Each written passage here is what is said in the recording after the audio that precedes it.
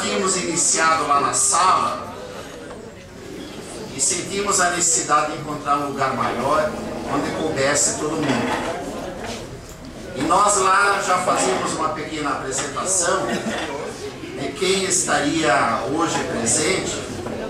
Então, a, além dos moradores da comunidade, que nós ficamos felizes que vocês estejam, de lideranças locais, que aqui estão, nós temos a grata satisfação de hoje termos a Polícia Militar, que está aqui conosco. Nós temos a alegria de ter a UPS recentemente instalada aqui. Nós temos representantes, lideranças do projeto Liberdade em Ação, do LAIS, do Colégio Bom Jesus, que eu represento.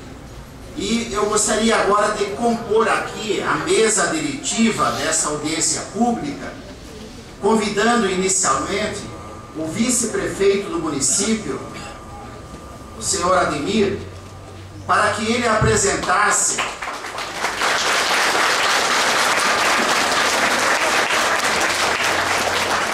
Como eu não sei quem está pela prefeitura, acho que o vice-prefeito vai saber dizer bem quem está pela prefeitura e apresentar a equipe.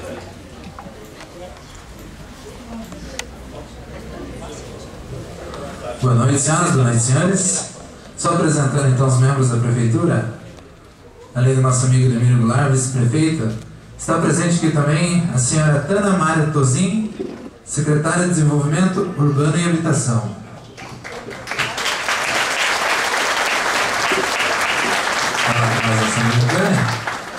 Gostaríamos também de agradecer a presença do secretário João Maria, secretário de Obras e Viação, também presente aqui hoje gente.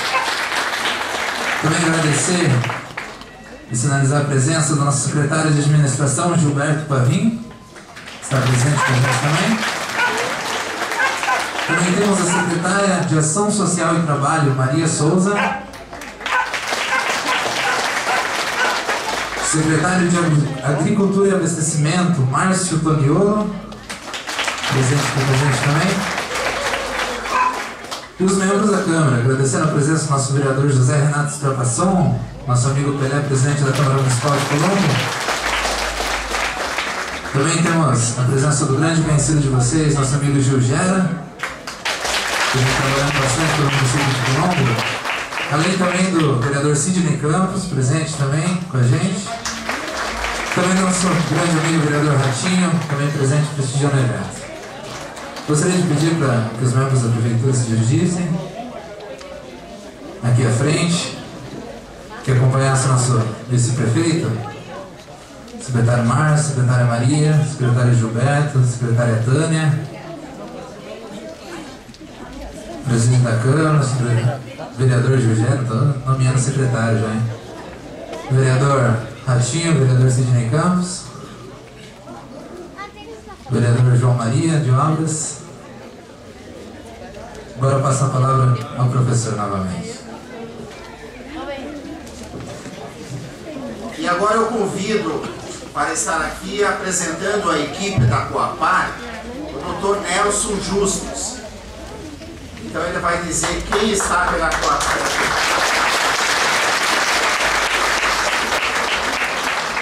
Boa noite, gostaria de cumprimentar a pessoa do vice-prefeito, toda a equipe da Prefeitura Municipal de Colombo. Sei que vocês estão prestigiados aí, vários vereadores, vários secretários, e a gente também fez questão aqui de trazer ah, toda a equipe que trabalha aqui em Colombo, principalmente no Jardim de Liberdade, da Liberdade.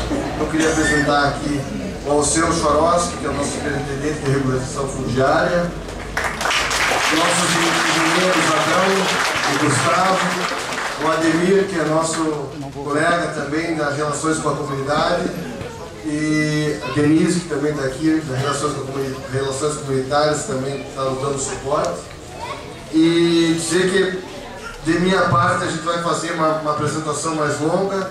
Dizer que o vereador agradeceu a iniciativa do vereador, mas calculou mal se a gente tivesse aquela salinha agora, ia estar um em cima do outro e não sobrar espaço. Então, fico feliz de ver a comunidade, a gente tem boas notícias e estamos ansiosos aí para começar o quanto antes a, a, a apresentação para vocês já esperam há tanto tempo aí a, a, realização é, desse programa, ver como as coisas estão evoluindo e também é, ouvir da prefeitura aí o que ela também pode estar fazendo pela comunidade. Então, de minha parte, quero desejar uma boa noite para todos vocês e dizer que espero trazer boas notícias e depois abrir a palavra para vocês, porque eu acho que diante de todas essas é, pessoas aqui que trabalham em prol da, da comunidade, vocês aproveitem para tirar as dúvidas.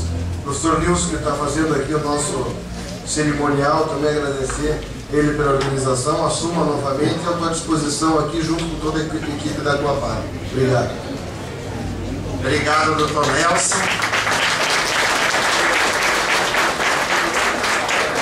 O assessor aqui da comunicação da prefeitura lembrou que está também presente a secretária de a senhora Terezinha representando a secretária municipal de educação.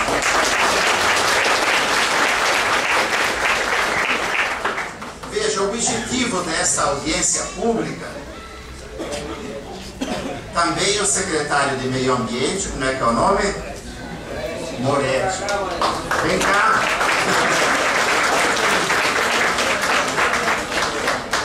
Eu acho que é muito importante a comunidade sentir que a administração da prefeitura, as secretarias estão presentes.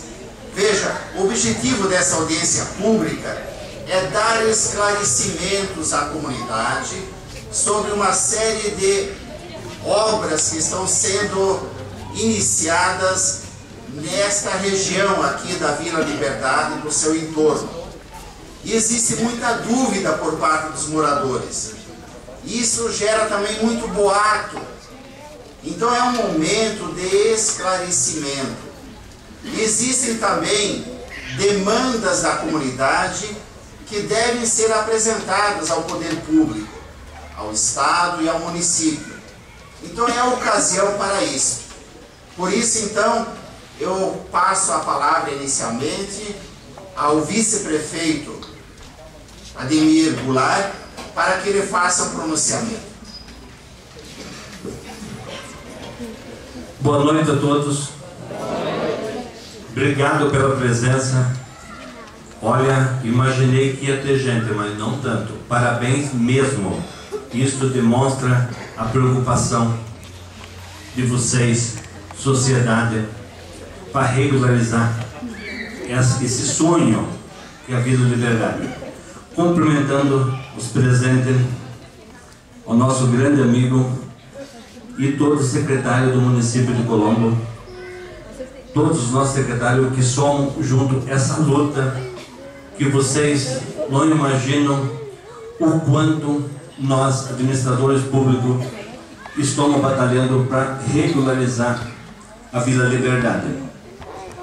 E essa luta já vem lá de trás da outra administração da BET, vocês sabem disso. Infelizmente se passaram oito anos e nada foi feito. Nós assumimos, eu e a Beth faz quatro meses e graças a Deus vários sonhos em Colombo estão sendo realizados. E vocês têm um vereador aqui que representa muito bem a Vila Liberdade, que é o nosso amigo Gil Gera.